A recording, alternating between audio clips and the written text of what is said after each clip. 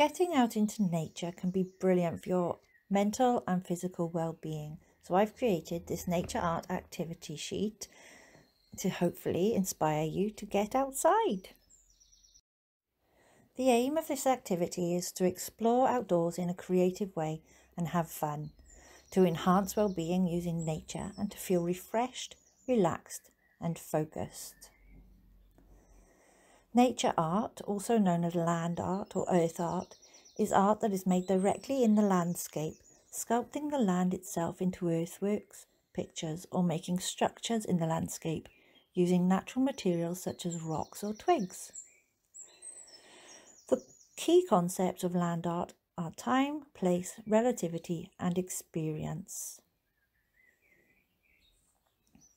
Useful things to take with you if you're planning to make some land art are a pair of gloves, some gardening shears and a strong bag. Although nature art can be as spontaneous as you like and you may not have these items to hand, so take care and be mindful of what you are picking up, that it is not sharp, spiky or going to sting you. Take a walk or go for a bike ride. Look for interesting places within nature. The shapes, colours and foliage will be different for each season but there will always be something interesting to use and you can collect interesting leaves and bits along the way if you like.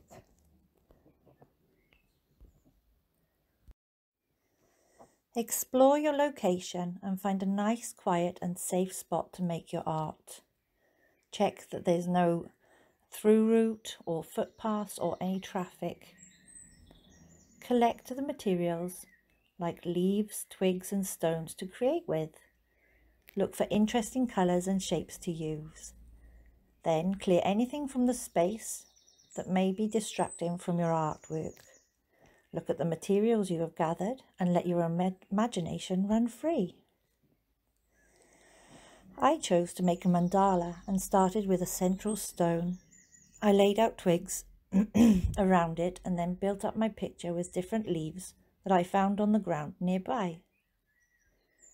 If you have a camera, snap a few pictures when you are finished so that you can remember your work. I hope this inspires you and that you enjoy this activity. As always, I welcome feedback and absolutely love to see what you make.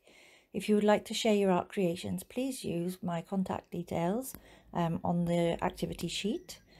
Um, the Chubby Sheep Studio, this is a um, public community. So if you'd like to share and show everyone your wonderful makes, that would be wonderful. Um, or if you'd like to be more private but share, then you can email my email address. Uh, if you have further interest in land and nature art, you might like to have a look at some inspirational artists and their work, such as Andy Goldsworthy. Like I said, I hope you've enjoyed. Have fun. Bye bye.